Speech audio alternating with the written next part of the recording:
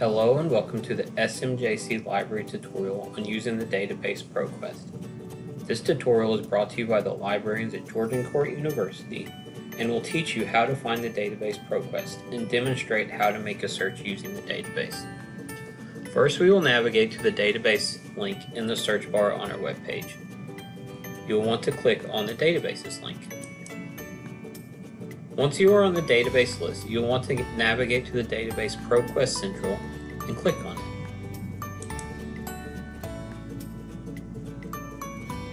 When you are on the ProQuest webpage, you will notice the search bar. This is where you will want to type your search query. You will also see various limiters if you scroll down below the search bar. We will do a quick sample search for business management.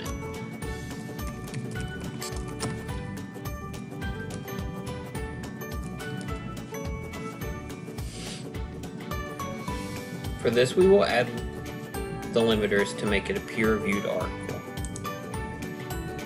Once you have typed in your search, scroll down to the limiters and click on peer-reviewed. When you've done the search, you can click the right hand side to only search for full text as well.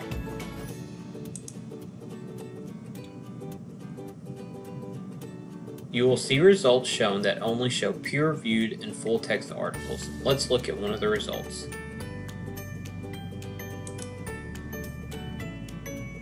If you need to cite this article, ProQuest has a built-in citation button located here. Once you've clicked on it, you can scroll down to which citation style you're using. For example, if you are using MLA style, you will scroll down to MLA and click on it. Just be careful because these citation tools aren't perfect and you need to double check to make sure it's correct. To find the full text of the article, you will see a link on the right hand side. When you click on the link, it will take you to the full text.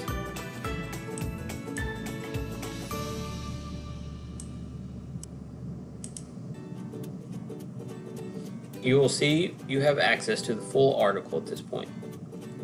If you want to keep a copy of this article, you can download the article with the link on the upper, upper right hand side of the article. Click on download and save a PDF of the article and specify where you want to save it.